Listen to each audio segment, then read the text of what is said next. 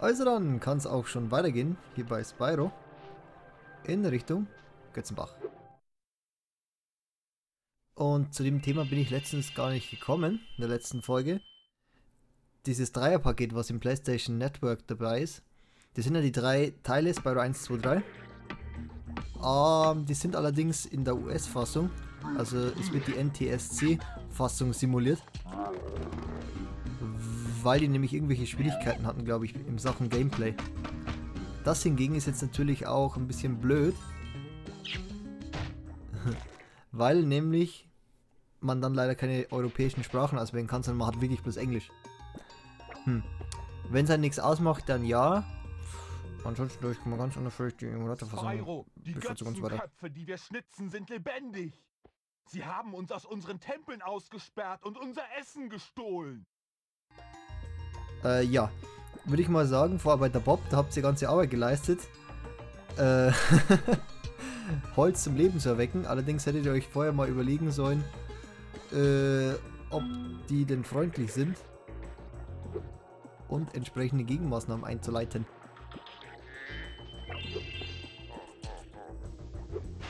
Hm. Holz ist Holz, deswegen verkugel ich die doch einfach.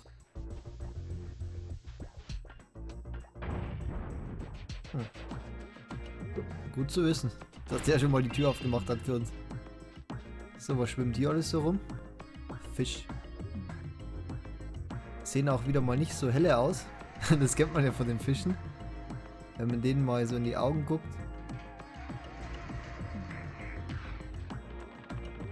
So, und jetzt noch. Noch so eins von diesen Schmetterlingsinhabern. ja, blöd, wir haben noch keinen Schwimmskill. Das heißt, so oder so werden wir da später noch formal vorbeikommen müssen.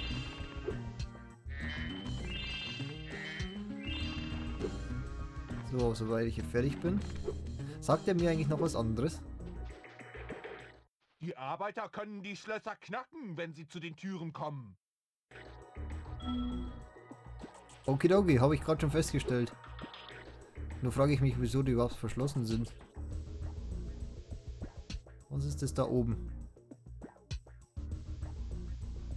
Ah, sieht verdächtig aus, da muss ich sofort mal hochgehen. Wie heißt du überhaupt? Ja, vielen Dank fürs Gespräch. Ich merke, sie sind sehr helle. Sich selbst mit dem Hammer zu hauen, erfordert sehr viel Skill. so, und diese Holzkollegen mit ihren Schaschlik-Spießen und ihren Spiegelschilden. Hm. Boing. Ja, war klar. Gegen so eine Masse-Impact haben die dann doch nichts entgegenzusetzen. Und unseren äh, Wurstikus hier fackel ich einfach ab. Wenn es kein Schild hat, dann so Sachen wie das hier sind ja doch feuerfest. Aber eben nicht gewappnet gegen einen Kopfnuss von einem Drachen. Auch nicht schlecht. Die haben das genauso ausgedeichselt, dass man für manche Gegner Feuer und für manche Kopfnüsse braucht.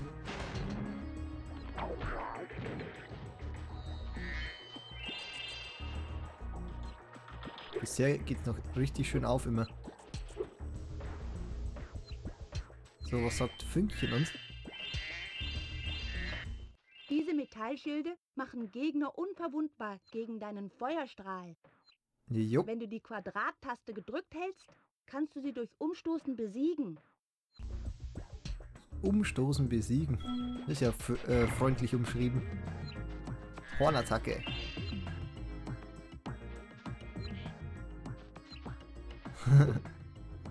das sind schon so Arbeiter hier. Aber wenn die hier so für Götzen schnitzen.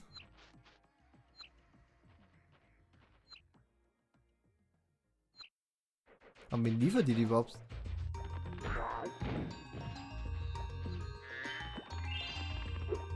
Hm. Ich hätte auch voll Bock auf so einen Schaschlik. Darf ich mal ein bisschen angucken? Leider wird es nicht heiß. Schade. Eine Marshmallow. Ist ja interessant, was die alles hier für Lebensmittel an sich gerissen haben.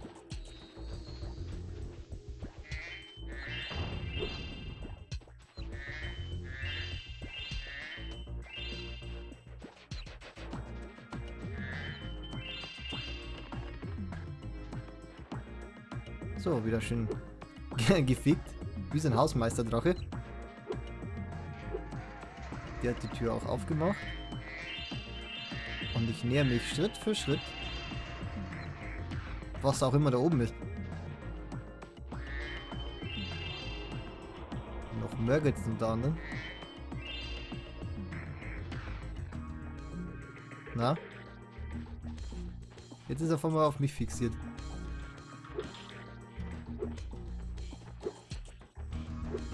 Aber zustechen will er auch nicht. Jo. Jetzt hat er sich mal getraut. Kann ich das auch mal hier so zeigen. Sparks hat ein bisschen was von seinem goldenen Glanz verloren. Und, naja, was soll das heißen? Wir haben ein bisschen KP verloren.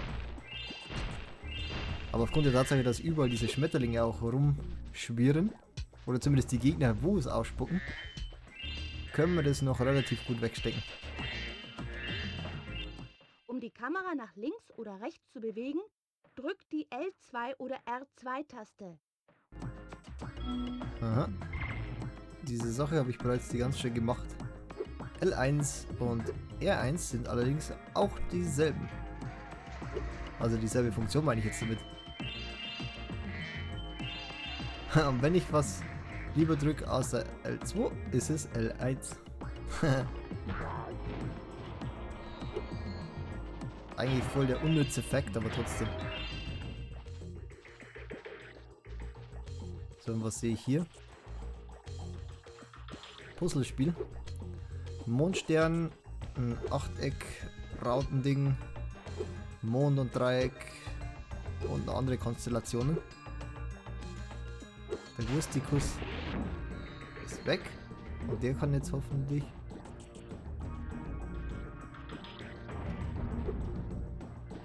Ich näher mich langsam aber sicher, glaube ich, irgendwelchen kritischen Punkten.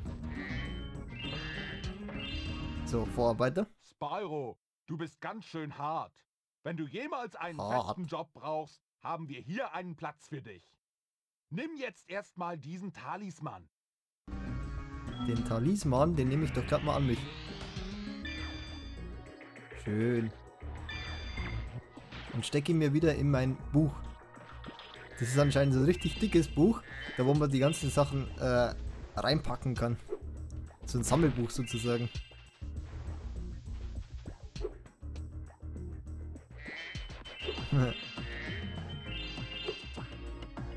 Und solange ich es noch kann, reizt sich doch gerade mal hier diese ganze Umgebungen aus. Im Götzenbach.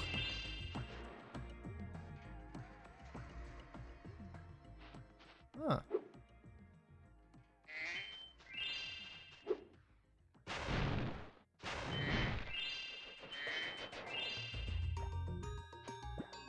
Oh, das was da unten ist, sieht doch mal nach etwas Größerem aus. Aber eins nach dem anderen. Erstmal gucken, was hier noch so für Edelsteinchen da sind. In der Hinsicht bin ich auch so ein Geldsack. Aber andererseits, wenn jemand so unsinnig rumliegen lässt, die ganzen Edelsteine, wieso soll ich mich dann nicht bedienen?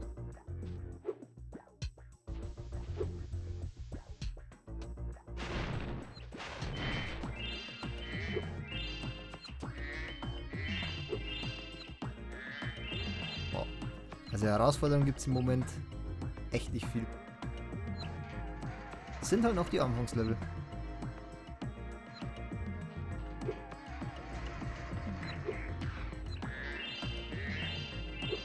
Ich wundere, dass hier nirgendwo mal so ein Schaf oder sonst was ist, damit ich nur wieder einen Schmetterling abgreifen kann.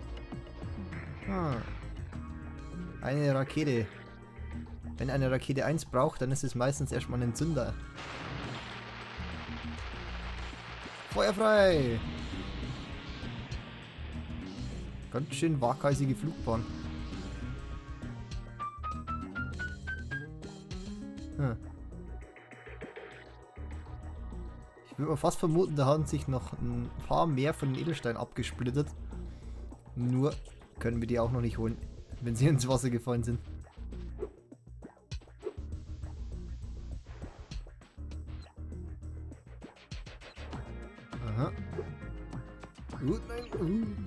Runterfallen. Ich möchte nämlich jetzt eigentlich nicht den ganzen Weg hier nochmal latschen, sondern direkt darüber gehen zu dieser einen interessanten Stelle. Die nicht hier war. Mist. Na gut, dann habe ich mir wenigstens noch einen voll aufgeladenen Spark. Mit extra Leben. Dachte ich mir gar nicht, dass das so ein extra Leben äh, ist. Umso besser. Trotzdem muss ich jetzt mit Vollgas hoch.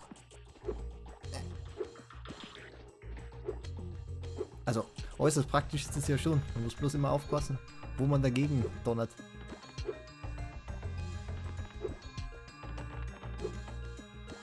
Ups.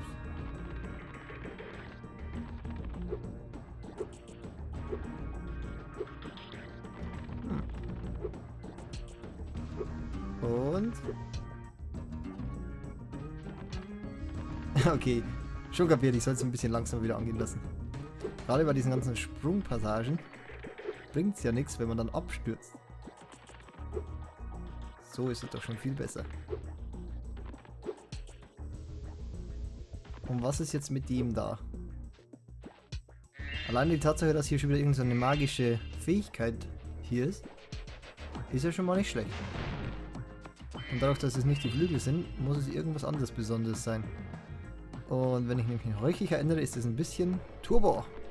Jawohl, uh, krasser Turbo vor allem. Sonic wäre stolz auf Spyro. Ups. Ich muss alle umdocken.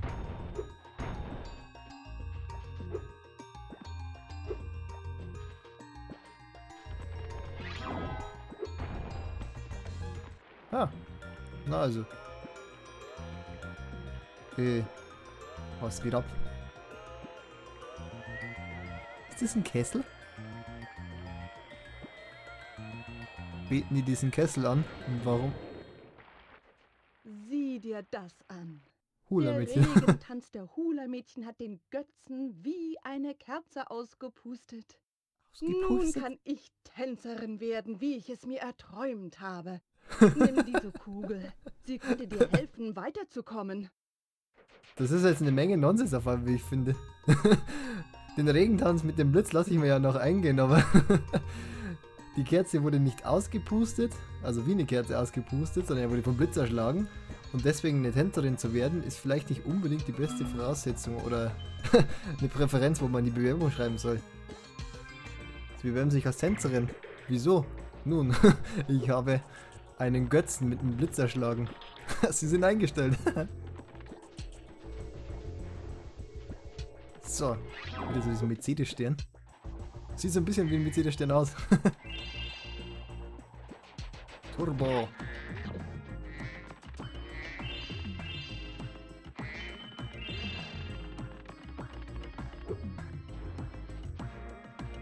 Hula hopp.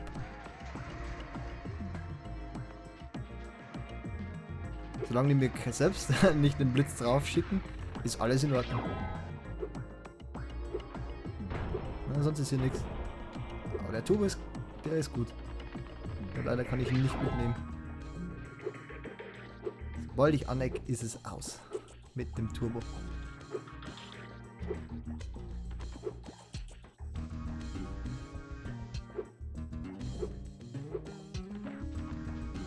Talisman habe ich schon abgegriffen, also rein technisch bin ich ja schon fertig mit Level. Aber natürlich, wie es so üblich ist, gibt es natürlich noch ein bisschen mehr von dem anderen Sammelzeug.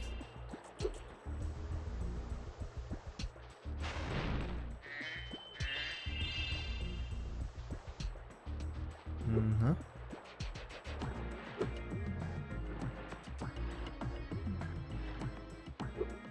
Also ein bisschen was vom Urlaub hat er ja. Er kann wenigstens immer her schwimmen. Es ist zwar leider kein Strand und es ist wahrscheinlich auch nicht warm, aber trotzdem würde versuchen, irgendwas ausfindig zu machen, was man von hier oben irgendwie ansteuern könnte, aber ist nichts. Das ist... Schade.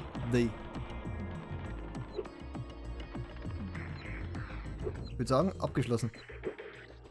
Nichts wie weg hier.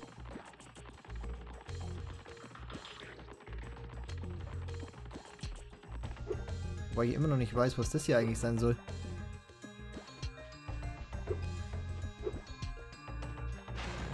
Ein Puzzle. Vielleicht. Wird es aber auch später erst interessant.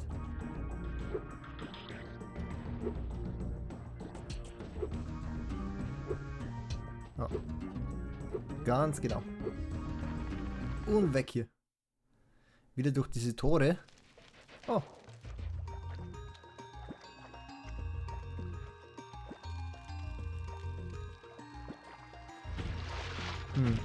Scheinbar habe ich nicht alle umgefetzt.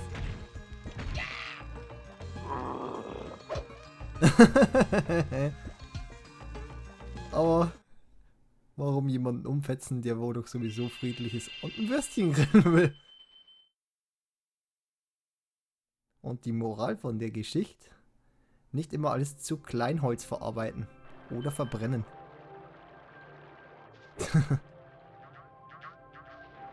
Aber jetzt, äh, jetzt habe ich genug, um tauchen zu können. Hey, Spyro, Ilza. möchtest du unter Wasser schwimmen können? Ich könnte es dir für ein, ähm, kleines Entgelt beibringen. Ich frage mich, wie der mir das beibringen will, wenn er selbst nicht ins Wasser steigt. Weil so wie der aussieht, wird der nicht ins Wasser steigen und mir das zeigen, sondern durch Hand auflegen. Einfach mal beibringen. Toll! Okay, wenn du ins Wasser springst, kannst du dich mit den Richtungstasten an der Oberfläche bewegen. Mit der Quadrattaste tauchst du unter. Wenn du unter Wasser bist, drück X zum Paddeln und die Quadrattaste zum Angreifen. Okay. so in etwa habe ich das verstanden. Aha. Schöne Unterwasser-Action.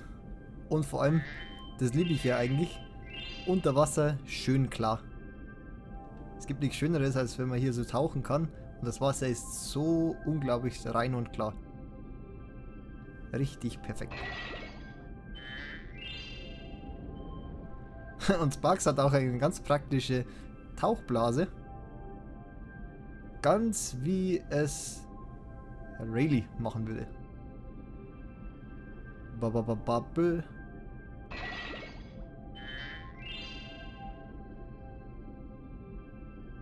Wir haben auch glücklicherweise wieder unendlich Luft. Also gerade irgendwie damals zu dieser Zeit haben die nicht ganz so oft wirklich Lust gehabt, irgendwie was speziell Luftikus-mäßiges unter Wasser zu machen. Aber was soll's.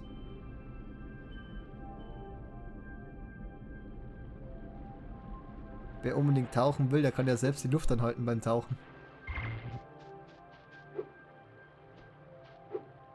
Und jetzt, wo ich das mit dem Tauchen kann, könnte ich mir doch mal noch ganz schnell, ganz schnell das holen.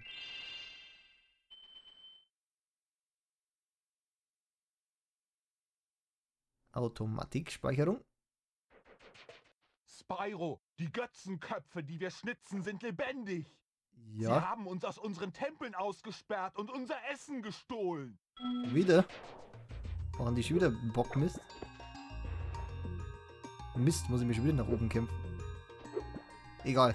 Hauptsächlich kann mir jetzt erstmal eine Menge von dem Zeugs hier aufs, äh, aneignen.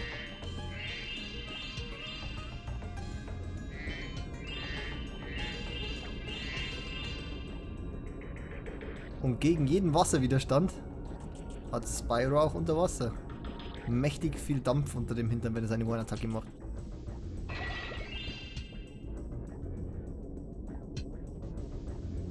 Gleiches gilt natürlich auch für Spark.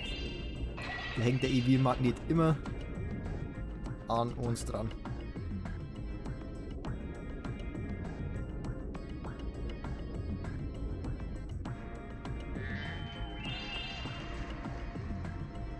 Frag mich, wie viel der Typ das nächste Mal will für die nächste Sache, wo er uns beibringt, öffnet oder sonst was macht. Dieser Geldsack ist echt ein Übel. Übler Kerl. Übel, aber nur im Sinne von, der zwackt uns viel Geld ab.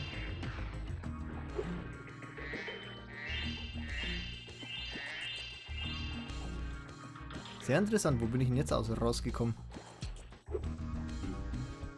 Ich bin hier mit unserem ganzen Werkzeug eingeschlossen. Und die riesigen Götzenköpfe lassen die Arbeiter erst rein, wenn wir die drei Aufgaben lösen, die sie uns gestellt haben. Die haben eine Aufgabe gestellt?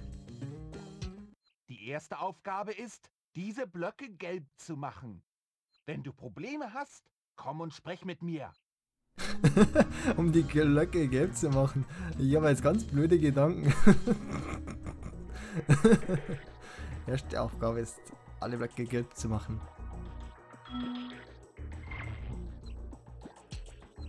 Jo, also. Ach so. So und nicht anders da. Na gut. So ein easy peasy Rätsel. Sage ich jetzt einfach mal. Ups, halt. Ich mach's lieber so. Und wie viel ich? Hm, die macht die beiden hier, oder? Richtig. Also muss ich das Ganze noch mal ein bisschen anders managen. Klick.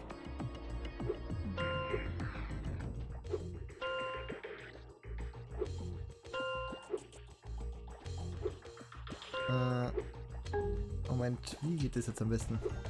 Ich bin ein Fan vom Ausprobieren, ich will jetzt gerade nicht groß nachdenken.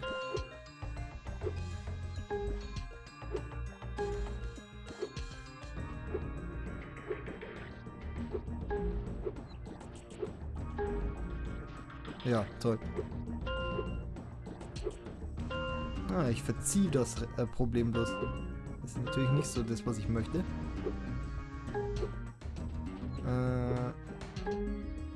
Muss ja einen mehr kriegen. Eine mehr kriege ich. So, genau. Klingeling. Wow, Spyro! Du hast es geschafft. Ich meine, ich wusste, dass du es kannst. Komm jetzt zum Teich zum nächsten Test. Aber selbst so rumprobieren wollte er wieder mal nicht. Faulen Säcke. Teich sagst du? Wow, Spyro! Aha. Fünkchen blitzen sind wir eine rein. Zucken tut er zum Glück nicht. Also ist es auch nicht zu elektrisch, was die da macht. Und hab. Rausgehechtet aus dem Wasser. Stylisch.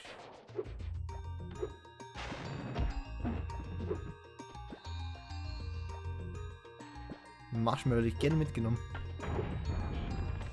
So, hier ist der Teich aus der Bahn.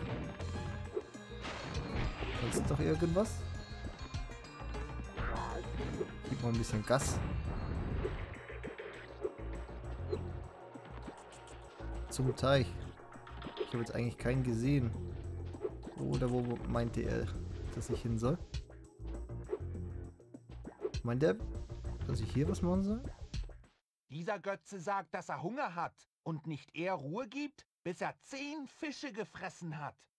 Er hat einen empfindlichen Magen. Pass auf, was für Fische du ihm gibst. Äh, ja. Fische abfackeln, um Götzen zu füttern. Der Götze ist Wähler. Also ich, würde mal vermuten. Hm, was macht denn der für Fische? Gelbe?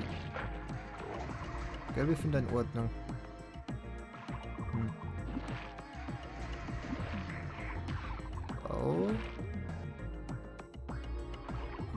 Rote. Da kommt, glaube ich, noch ein roter. Da der rote. Sollte vielleicht mal austesten, ob der rote auch in Ordnung ist. Ah, rot mag er nicht. dann kotzt er die anderen wieder aus. Ist blau in Ordnung? Blau ist auch in Ordnung. Okay, gut. Gut zu wissen. Mhm. Mist, hängen geblieben. Mist, auch noch hängen geblieben. Oh. Okay. Kann ich meinen Kopf drehen?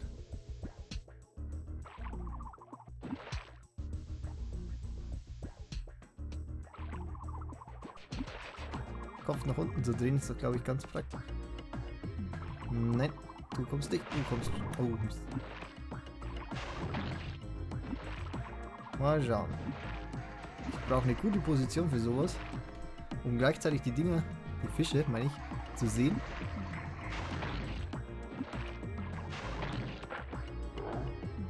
Ja, so ist gut. Ja. Da kann ich mich nicht beschweren, habe ich genug Reaktionszeit für sowas. Mhm, mhm. Und Spider... Uh, Glück ist eigentlich geblieben. Und Spider äh, guckt doch richtig schön hinterher, was da alles kommt und was nicht.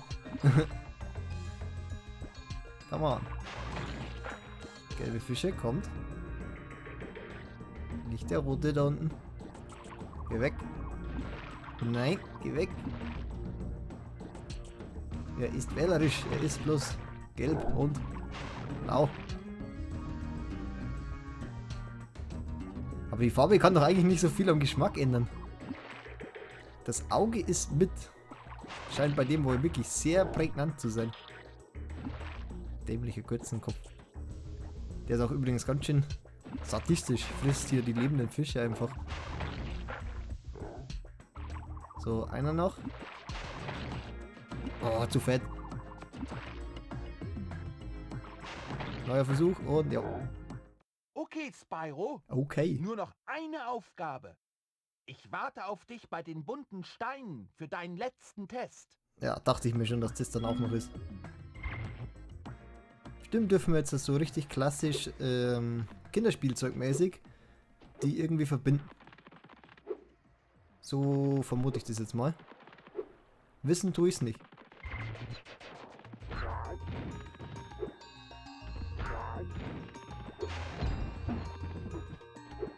So. Macht die Tür auf. Lass mich nicht warten, los.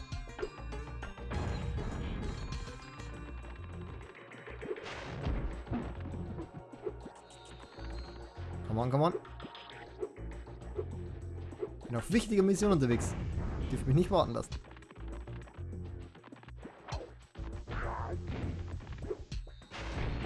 So, jetzt aber. Wenn du in der richtigen Reihenfolge auf die Steine springst, löst du die Aufgabe. Ich kenne nur den ersten. Den Rest musst du herausfinden. Ja, ich glaube, ich habe auch schon eine ungefähre Ahnung, was er damit meint. Stern zu Quadrat. Also sehr wahrscheinlich, will ich jetzt vermuten, ist der Stern das nächste, wo ich drauf touch. Danach ein Achteck, weil ich das aktiviert habe. Hm, oder? Ich vermute jetzt einfach mal. Dann wäre es eine... Hm. Orange, war es auch orange? Mond wegen Mond und Dreieck wegen Dreieck. Hm, war richtig. Einfach bloß irgendeine Gemeinsamkeit Gute suchen. Arbeit, Spyro. Du bist ganz schön clever für einen Drachen. Was soll denn das heißen? Hey, bist ist du hier Drachen äh, irgendwie einen meinem machen? Werkzeugkasten gefunden habe. Aha, wenigstens die Kugel. Aber dieses Statement schon wieder. Das soll lieber aufpassen.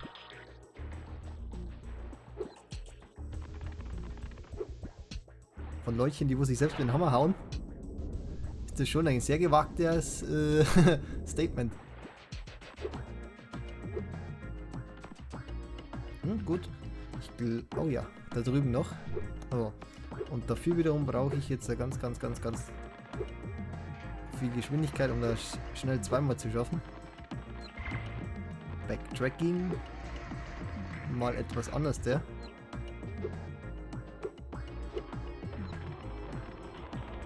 Ich muss hoch, rübergleiten und dann nochmal hoch. Kann es leider nicht abkürzen.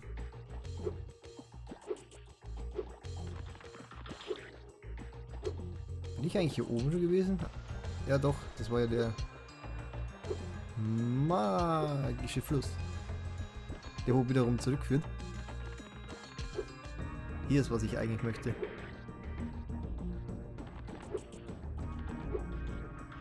Ui. Gut, dass wir gleiten. Der ist auch wieder da.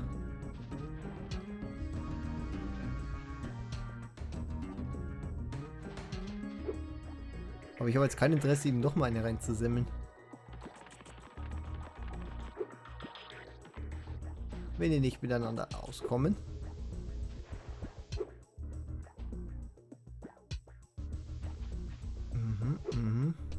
Richtig? Ja.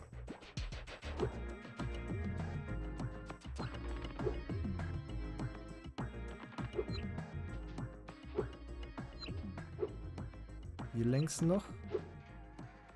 Oh nein! Hm, wo bin ich jetzt?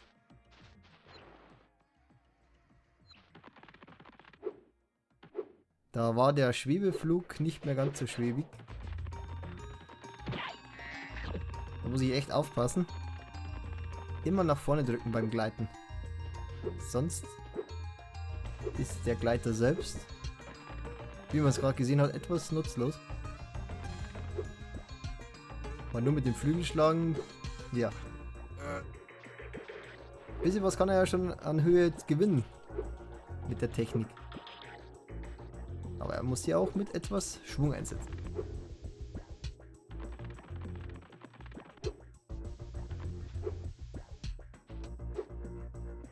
Darüber noch. Oh. Okay, Mist.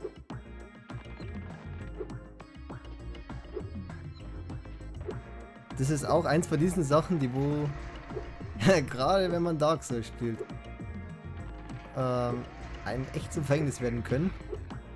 Man möchte einfach mit Vollgas durchpreschen, aber ist natürlich nicht. Weil sobald man sich einen Fehler erlaubt, hat dieser Fehler doch etwas härtere Konsequenzen.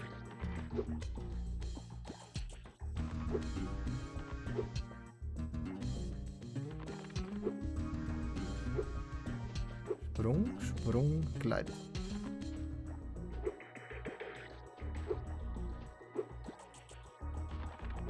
Ein bisschen eckig ist es ja zum Steuern. Man sieht ja, wenn man, die, wenn man Spyro drehen möchte. Obwohl, merkt man es eigentlich noch nicht so wirklich. Aber ein klein wenig kantig bewegt er sich trotzdem.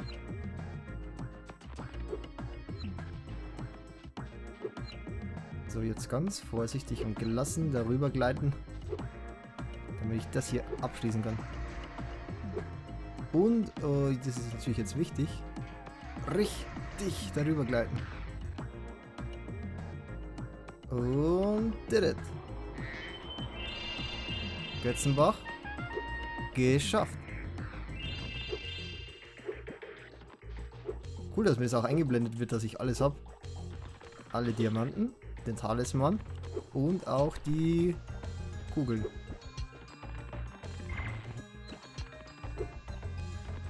Muss ich auch nochmal rausfinden, was die waren. Wirklich bloß zum Tür öffnen? Hm. Ja, ich werde sehen.